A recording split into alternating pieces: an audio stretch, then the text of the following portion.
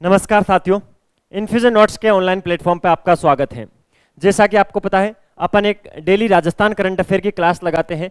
उसी कड़ी में आज है 12 अक्टूबर 2024 और आज का जो भी मोस्ट इंपोर्टेंट करंट अफेयर है, उसको अपन इस सेशन के अंदर डिटेल एनालिसिस और स्टेटिक्स जीके के साथ कवर करने वाले हैं। इस क्लास के अंत में अपन सूजस का सार भी देखेंगे, क्योंकि राजस्थान में जितने भी एग्ज़ाम होते हैं, उनमें 99 परसेंट जो राजस्थान करंट अफेयर के क्वेश्चन आते हैं, वो सूजस के सार में से पूछे जाते हैं। तो इसके लिए अपन प्रतिदिन जब राजस्थान करंट अफेयर की क्लास लेते हैं तो उसके अंत में सूजस का सार भी उस दिन का देख लेते हैं। तो चलिए, आज के क्लास का पहला क्वेश्चन क्या है?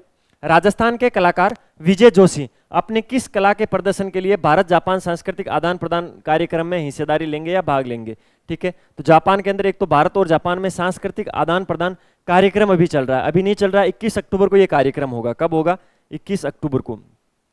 ये जापान की दो जगहों पर होगा। एक तो जापान की कोबे नाम की जगह पे होगा और एक ओसाका नाम की जगह पे होगा।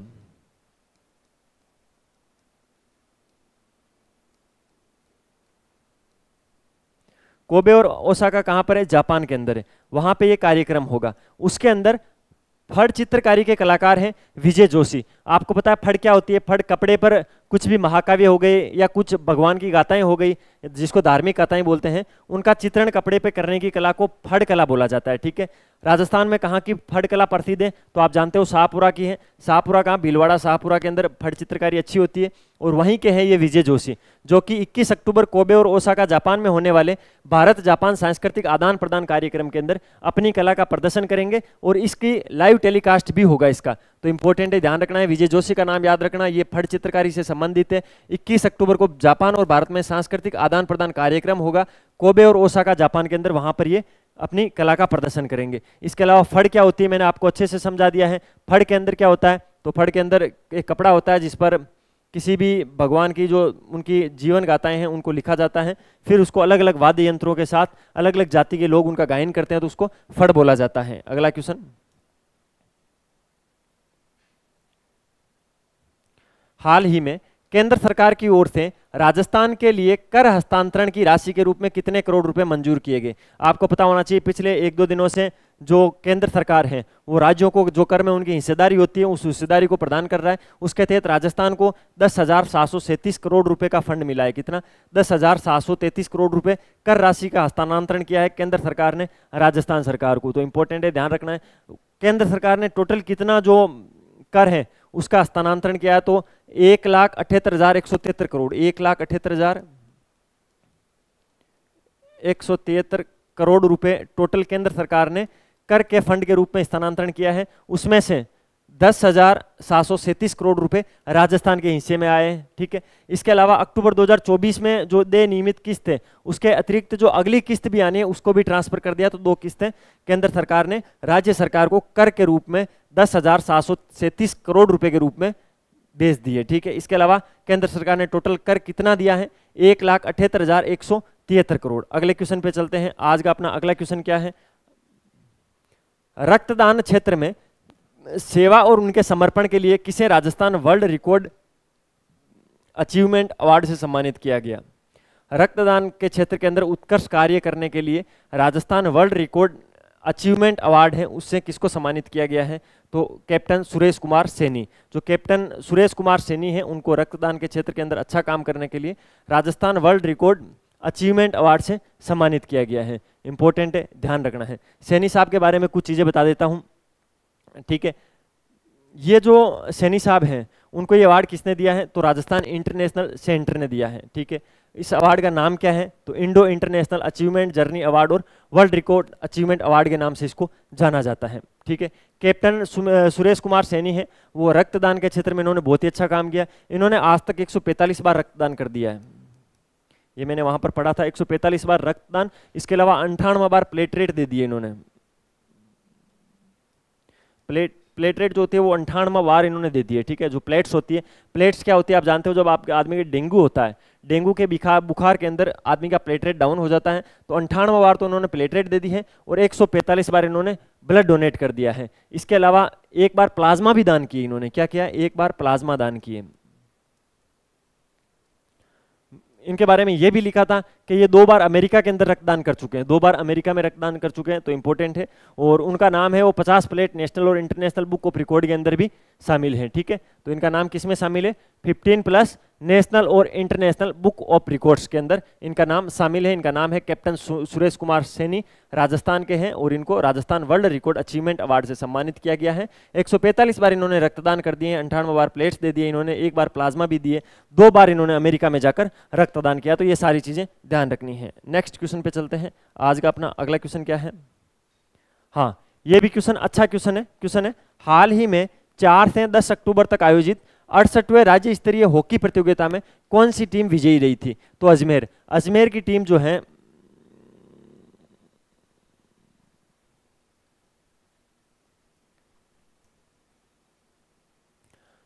अजमेर की टीम चार से दस अक्टूबर को जो अड़सठवा राज्य स्तरीय हॉकी प्रतियोगिता हुई थी, ये हुई कहाँ पर थी? ये कोटा के अंदर हुई थी। कोटा के अंदर ये हुई थी और इसके अंदर अजमेर की जो टीम है, वो विजयी रही थी, ठीक है? तो इसको विशेष ध्यान रखना है।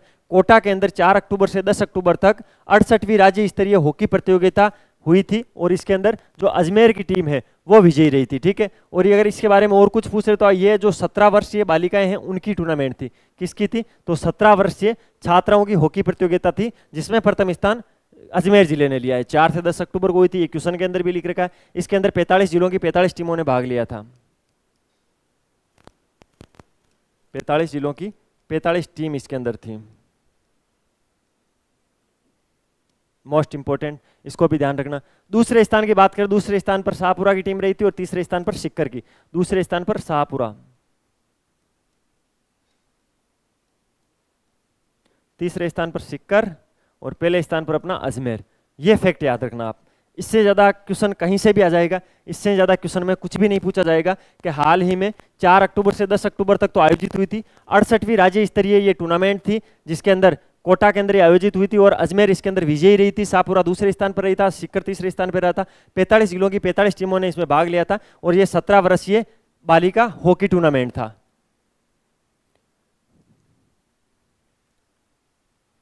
हाल ही में किस राज्य सरकार द्वारा बदमाशों, आरोपियों के फिंगरप्रिंट्स का डिजिटल बैंक बनाया गया?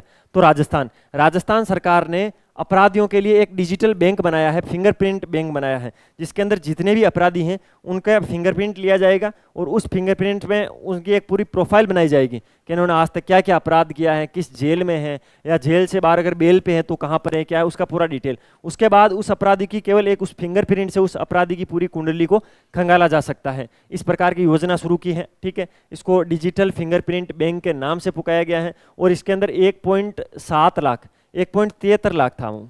एक पॉइंट तिहत्तर लाख जो बदमाश हैं, उनके फिंगरप्रिंट तो ले ही लिए गए हैं। इसके अलावा बाईस हज़ार से ज़्यादा जो पहले से प्रिंट था, उनका फिंगरप्रिंट बनाया है। यानी बाईस हज़ार जो पुराने कैदी थे, उनका भी इसके अंदर फिंगरप्रिंट ले लिया गया है, ठीक है? इसके अंदर इसकी थीम रखी गई थी, एक क्लिक पर अपराधी का रिकॉर्ड एक क्लिक पर अपराधी का रिकॉर्ड देखा जा सकता है। एक लाख तिहत्तर हज़ार लोगों का तो फिंगरप्रिंट ले लिया गया अपराधियों का। बाईस हज़ार जो पुराने अपराधी थे, जिनका रिकॉर्ड फिंगरप्रिंट के रूप में नहीं था, केवल कागजों में था, उनको भी फिंगरप्रिंट में चेंज कर दिया है। और पहली बार बदमाशों और आरोपियों के फिंगरप्रिंट का डिजिटल बैंक है, वो किसने बनाया है? तो वो बनाया है अपने प्यारे राजस्थान ने। अगले क्वेश्चन पे चलते हैं।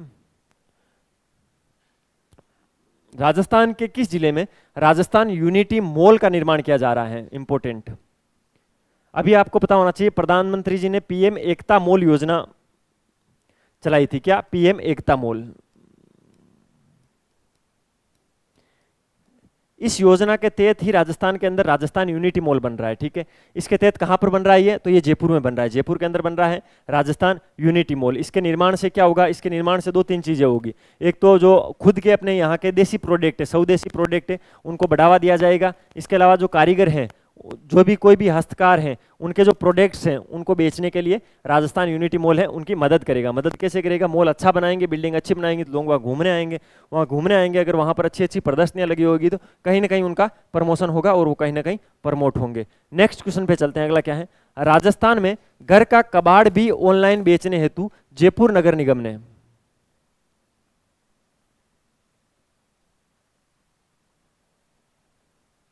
राजस्थान में घर का कबाड़ भी ऑनलाइन बेचने हेतु जयपुर नगर निगम हेरिटेज ने कौन सा ऐप तैयार किया है? ठीक है, किसने शुरू किया सबसे इंपॉर्टेंट तो ये है जयपुर नगर निगम हेरिटेज ने। क्या है? आपको बताया आजकल फ्लिपकार्ट, जोमेटो, ऐसी सुविधाएँ हैं। उन सुविधाओं से क्या होता है? अपन घर बैठे ओलेक्स हो गया, कुछ भी बेच सकते हैं, कुछ भी खरीद सकते हैं। क्यों ना राजस्थान सरकार के जयपुर नगर निगम हेरिटेज ने सोचा कि अपन कचरे को भी ऑनलाइन बेचें, ठीक है? तो उसके लिए उन्होंने रिसाइकिल ऐप जयपुर लॉन्च किया है। ये जो ऐप है रिसाइकिल जयपुर ऐप है, वो प्ले स्टोर पर अवेलेबल है। इसके अंदर इस ऐप में क्या क्या सुविधाएँ दे रखी है? इसमें सुविधा ये दे रखी है कि अगर आपके घर पे कचरा है, आपको उसको निकालना है तो आप उस ऐप पर अपनी पूरी डिटेल दे दो, घर का एड्रेस दे दो, ये ये कचरा है। उसके बाद में घर पे गाड़ी आएगी, आपका वो कचरा लेके चली जाएगी। तो इसके लिए रिसाइकिल जयपुर ऐप है, उसकी शुरुआत किसने की है? जयपुर नगर निगम हेरिटेज जो जयपुर नगर निगम है उन्होंने की है और इसकी वर्तमान में महापौर कोने में दो दिन से क्लासों में बता रहा हूँ। जल्दी से मुझे कमेंट बॉक्स में बता दूँ। अगले क्वेश्चन पे चलते हैं। मिस राजस्थान के 26वें संस्करण में मिस राजस्थान 2024 का टाइटल किसने जीता है? तो वो जीता है हर्षिका। हर्षिका ने मिस राजस्थान के 26वें संस्करण के अंदर मिस राजस्थान 2024 का खिताब जीता। इंपॉर्टेंट कई बार एग्जामों में पूछा जाता है। ठीक है तो ये अजमेर की रहने वाली है। अजमेर की हर्षिका ने 26वें संस्करण मिस राजस्थान के में मिस राजस्थान 2024 का टाइटल जीता है, ठीक है? इसके अलावा इसका जो फाइनल हुआ था वो जयपुर के बिला ऑडिटोरियम के अंदर हुआ था। ठीक है, बिरला ऑडिटोरियम कहाँ आप जानते हो? सिप्रापत मानसरोवर के अंदर, जयपुर के अंदर है, इसके अंदर। फाइनल के अंदर 28 गर्ल्स थी 28 लड़कियाँ थी, उनके बीच में मुकाबला हुआ था और उसमें से हर्षिका ने यह मुकाबला जीता था। ठीक है, इसके अलावा सेकंड स्थान पर रनर अप कौन रही थी? तो अर्निका जैन रही थी और वहीं दो, तीसरे स्थान पर रही थी खुशी बेलावाला। तो इन चीज़ों का ध्यान रखना है। हर्षिका कहाँ की है? अजमेर की है। मिस राजस्थान के छब्बीसवें संस्करण में, वर्तमान में मिस राजस्थान है, दो हज़ार 24 की ये टाइटल इनके पास है और ये कहाँ पर हुआ था? जयपुर के अंदर, बिरला ऑडिटोरियम के अंदर ये कार्यक्रम हुआ था। अब देख लेते हैं सुजस का सार। सुजस का सार बहुत इंपॉर्टेंट है राजस्थान के अंदर। ये तो युवाओं के लिए अच्छी खबर है, बोल सकते हैं। कल एक और बैठक हुई थी मीटिंग हुई थी। उसके अंदर युवाओं को लेकर क्या चीज़ें की गई? भर्ती परीक्षाओं की समीक्षा मुख्यमंत्री श्री भजनलाल शर्मा ने अधिकारियों को निर्देश दिए कि एक लाख सरकारी नौकरियाँ देने के लिए मिशन मोड पर कार्य करें। भजनलाल जी ने साफ़ साफ़ बोल दिया है कि एक लाख नौकरियाँ देंगे और उसके लिए आप काम है वो तेज़ी से शुरू कर दो। ठीक है? ये चीज़ भजनलाल जी ने बोली है तो ये आपके लिए इसलिए है कि आप डेली करंट अफेयर की क्लास लिया करो, डेली स्टेटिक्स जी की क्लास लिया करो, अच्छे से नोट्स कवर कर लेना, कोई भी चीज़ समझ में नहीं आए, मैसेज कर देना, हर जगह जुड़ जाना, चैनल को सब्सक्राइब कर देना, इन एक लाख में अगर नंबर लेना है तो। आ जाएगा नंबर एक लाख के अंदर नो टेंशन रहो। सरकार युवाओं के सपनों को हर हाल में पूरा करेगी। मुख्यमंत्री जी, ये कल कोई मीटिंग हुई थी, उसके अंदर भर्तियाँ तेज़ी लाने के लिए सीएम की अध्यक्षता में उच्च स्तरीय कमेटी बनेगी। मुख्यमंत्री जी ने बोला है कि भजनलाल शर्मा जी ने ऐसा बोला है कि भर्तियों की प्रगति की नियमित अंतराल पर समीक्षा के लिए मुख्य सचिव की अध्यक्षता में उच्च स्तरीय कमेटी को बनाने के निर्देश दिए हैं। श्री शर्मा ने कहा है कि यह कमेटी भर्तियों में आने वाली व्यवहारिक बाधाओं को दूर करने के लिए आवश्यक दिशा निर्देश देने और नियमित मॉनिटरिंग का कार्य करेगी। बोला कि अलग से कमेटी बनाएँगे, वो इन भर्तियों को देखेगी। अच्छी बात है। समय, संसाधनों और श्रम का सदुपयोग करते हुए छोटी भर्तियाँ एक साथ आयोजित करें। यह बहुत ही इंपॉर्टेंट है यार। मैं काफ़ी दिनों से इसको देख रहा हूँ और ऐसा हो भी सकता है, जहाँ तक मुझे लगता है। मुख्यमंत्री जी ने कहा कि भर्ती एजेंसियाँ भर्ती प्रक्रिया में लगने वाले समय को कम करने के लिए कम पदों की भर्तियों को एक साथ आयोजित कराने पर विचार करें। एक जैसे पदों के लिए अलग अलग विभागों में अलग अलग भर्ती परीक्षाओं का आयोजन किया जाता है, जिससे समय व संसाधनों और श्रम का नुकसान होता है। साथ ही अभ्यर्थियों को भी परेशानी का सामना करना पड़ता है। इसे देखते हुए उन्होंने समान पदों के लिए, समान पात्रता लागू करने के लिए, नियमों को सरलीकरण तथा एक रूपता में लाने के निर्देश दिए। मोटा मोटी भजनलाल जी, ऐसा कहना चाहते हैं कि जो एक पे लेवल की या एक विभाग की जो अलग अलग वैकेंसीज है, उनको एक साथ ले लिया जाए, फिर उसमें रैंक के हिसाब से डिसाइड कर लिया जाएगा किसको कौन सी पोस्ट मिलेगी। अच्छी चीज़ है, होनी चाहिए। न्यायालय में लंबित भर्ती प्रकरणों का समय पर निस्तारण किया जाए। मुख्यमंत्री ने ऐसा बोला है कि हम न्यायालय के अंदर अच्छे से पैरवी करेंगे और उसको जल्दी से जल्दी निपटारा करने की कोशिश करेंगे। मुख्यमंत्री श्री भजनलाल शर्मा ने झील का बाड़ा स्थित केला देवी मंदिर का दर्शन किए हैं। एग्ज़ाम में क्या पूछा जा सकता है? केला देवी का मंदिर कहाँ पर है? तो झील के बाड़ा झील का बाड़ा के अंदर केला दे, केला देवी का मंदिर है जहाँ पर लांगूरिया नृत्य होता है आपको पता होना चाहिए भरतपुर के अंदर।